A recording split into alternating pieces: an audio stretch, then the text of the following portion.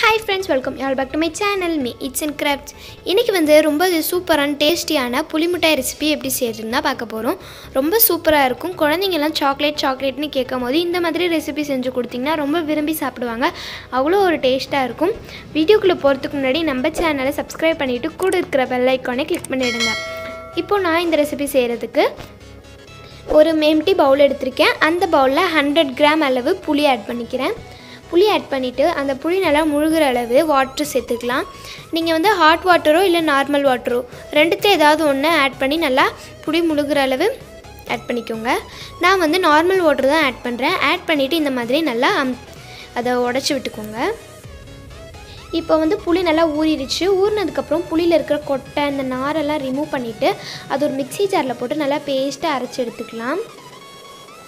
இப்போது ஒரு தவாவில் ஒன் டேபிள் ஸ்பூன் அளவு ஆயில் ஆட் பண்ணியிருக்கேன்.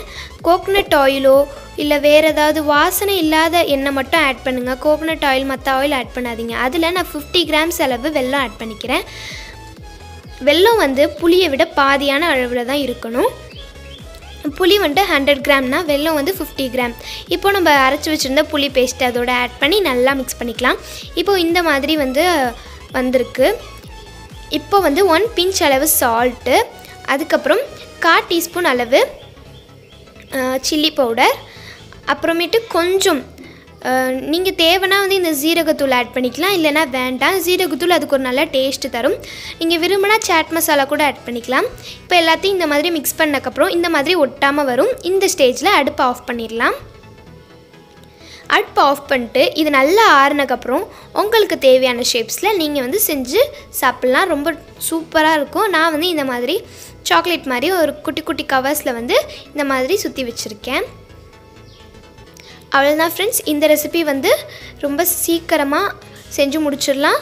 செய்கிறதுக்கு ரொம்ப லேட் ஆகாது. அதுவும் இல்லாமல் இந்த ரெசிபி ரொம்ப சிம்பிளான ரெசிபி தான் ஆனால் டேஸ்ட் ரொம்ப சூப்பராக இருக்கும். இந்த ரெசிபி நீங்களும் உங்கள் வீட்டில் கண்டிப்பாக ட்ரை பண்ணி பாருங்கள் பிடிச்சிருந்துச்சுன்னா லைக் பண்ணுங்கள் உங்கள் ஃப்ரெண்ட்ஸ் அண்ட் ஃபேமிலியோட ஷேர் பண்ணிக்கோங்க. இது எப்படி இருந்ததுங்கிறத என் கூட கமெண்டில் கமெண்ட் பண்ணுங்கள் நம்ம சேனலை சப்ஸ்கிரைப் பண்ணிவிட்டு கூட இருக்கிற பெல் ஐக்கானே கிளிக் பண்ணிவிடுங்க ஓகே ஃப்ரெண்ட்ஸ் தேங்க்யூ ஃபார் வாட்சிங்